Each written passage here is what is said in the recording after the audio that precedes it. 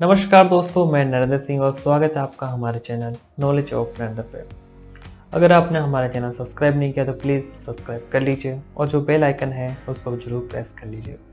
इस वीडियो में बात करने वाला है दोस्तों, मेरे पास एक 9 साल पुरानी हार्ड ड्राइव है और मैं अब उस हार्ड ड्राइव को किस प्रकार यूज़ ले रहा हूँ? अगर आप भी ये जानना चाहते हैं, अगर आपके पास कोई पाँच साल छः साल, सात साल, आठ साल पुराना हार्ड ड्राइव है तो उसको किस प्रकार उपयोग लें?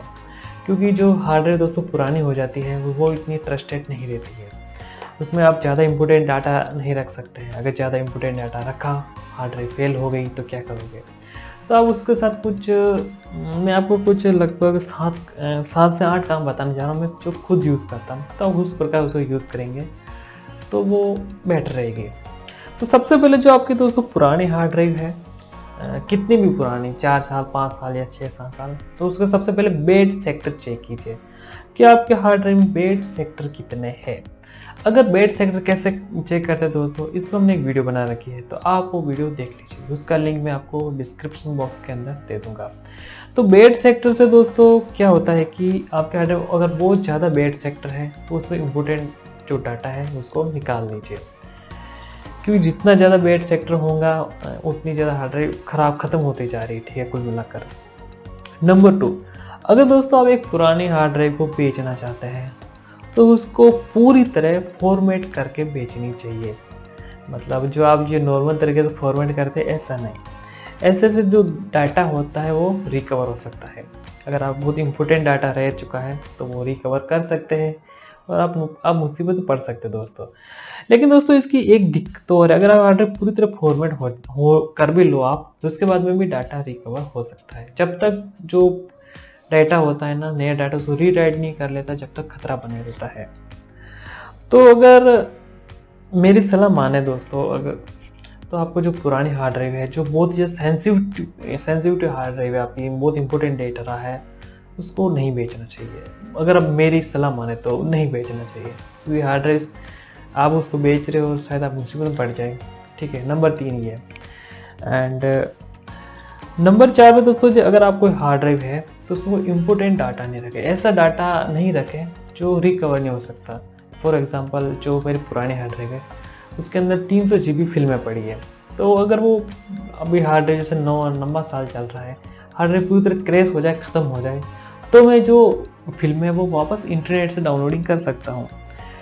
तो उसमें मुझे कोई खतरा नहीं है, अगर क्रैश भी हो जाए। लेकिन अगर मैं उसमें कुछ ऐसी डाटा रखता हूँ, जो मैं रिकवर नहीं कर सकूँ, क्योंकि दोस्त, देखिए, मैं आपको रियल बात बताऊँ। अगर आप किसी भी हार्ड ड्राइव को रिकवर करते हैं तो वो डाटा वैसा वैसा आपको नहीं मिलता है। मैंने खुद मेरे पाँच सौ G B hard drive recover किया है। जो गाने थे दोस्तों हर गाना एक एक फोल्डर के अंदर आ गया। यानी जो जैसा था, वैसा तो हो मिलेगा ही नहीं आपको। कुछ भी कर लीजिए। ये मेरा रियल एक्सपीरियंस है। डाटा दोस्तों फॉरवर्ड हो गया रिकवर वैसा होने वाला है नहीं। तो इम्पोर्टेंट डाटा नहीं रखें। नंबर चार। नंबर पाँच में दोस्तों देखिए, अगर आपके पास पुराने हार्ड ड्राइव है और ऑपरेटिंग सिस्टम की यूज़ कर रहे हैं तो बहुत ही स्लो ऑन ऑफ़ होता है कंप्यूटर विंडोज़ सेवन तक तो ठीक है, पर टेन तो बहुत ही ज़्यादा हाई भी चलता है। तो उसको आप केवल फ़िल्में रखने के लिए यूज़ करें। और ऑपरेटिंग सिस्टम के जो ऑपरेटिंग सिस्टम है, उसके लिए आप एक एस का यूज़ ज़रूर करें। एंड नंबर सिक्स पे दोस्तों अगर आपकी पुरानी हार्ड ड्राइव है तो आप उसको एक बैकअप के तौर पे यूज़ कर सकते हैं। जैसे आप विंडोज़ टेन का बैकअप बना लीजिए, जितना भी जीबी का है, और पुराना हार्ड ड्राइव में डाला, और उसको आप एक निकाल कर कंप्यूटर अलग रख लीजिए। ऐसा नहीं कि उसको कंप्यूटर अंदर रखेंगे, नहीं। उसको आप अलग से बना के रख लीजिए। जब भी कंप्यूटर कुछ हो तो आप उसको वापस स्टोर कर सकें। ठीक है दोस्तों, ये हुआ नंबर छः, और नंबर सात है दोस्तों, आप अगर आपके पास पुराने हार्ड ड्राइव हैं तो आप उस पर एक एक्सपीरियंस कर सकते हैं। जैसे कि मेरे पास जो पुराने हार्ड ड्राइव थी, मैं ये वाली नौ साल नौ साल पुरानी, अभी मैंने इसके अंदर डाल दिया है, लेकिन बहुत जल्द हम इसको वापस पुराने कंप्यूटर में डालने वाला है, क्योंकि अभी हम एक टू टी हार्ड ड्राइव और लेके आएँगे। तो आप उसको एक्सपेरिमेंट के लिए यूज़ कर सकते हैं। जैसे कि मेरे पास जब ये थी तो मैंने इस उबुंटू ऑपरेटिंग सिस्टम इंस्टॉल किया, देखा कि कैसा है। उसके बाद में क्रोम क्रोमियो ऑपरेटिंग ओएस इंस्टॉल करके देखा, बहुत ही लाइट वेट है। तो अभी मैं जब इसको वापस इधर लाऊँगा तो कुछ बहुत अच्छे अच्छे ओएस है दोस्तों, मैं उनको और इंस्टॉल करके देखूँगा। क्योंकि दोस्तों नए नए आप एक्सपेरिमेंट करना चाहते हैं तो आप एक फ्री हार्ड ड्राइव के साथ कर सकते हैं।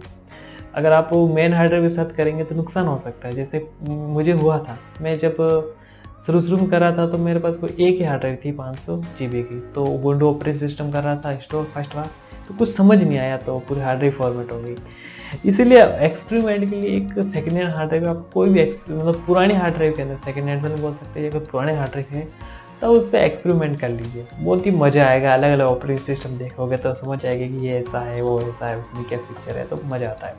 तो दोस्तों, ये मैं सात टाइप के एक्टिविटी करता हूँ अपनी पुरानी हार्ड ड्राइव के अंदर। तो ये सात चीज़ें आप कर सकते हैं जो मैंने आपको बताई है इस वीडियो के अंदर। तो ये बहुत ही अच्छी चीज़ है दोस्तों, अगर आप अप्लाई करेंगे अपनी हार्ड ड्राइव के अंदर तो आपका नॉलेज इंक्रीज होगा और नॉलेज भी बढ़ेगा। अगर आपको ये जानकारी पसंद है प्लीज़ इस वीडियो को लाइक करें, हमारे चैनल सब्सक्राइब भी करें। Thank you